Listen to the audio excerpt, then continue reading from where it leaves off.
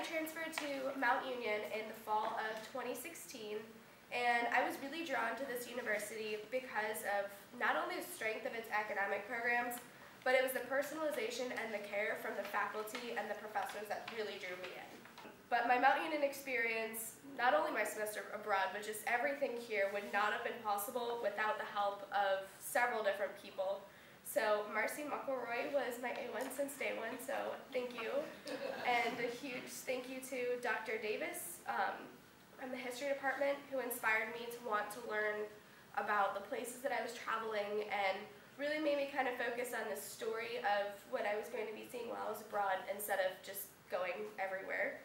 Um, my advisor, Professor Bill Schweitzer, who was outstanding and incredible and helping me piece together my graduation plan and also working with me to make my semester abroad happen.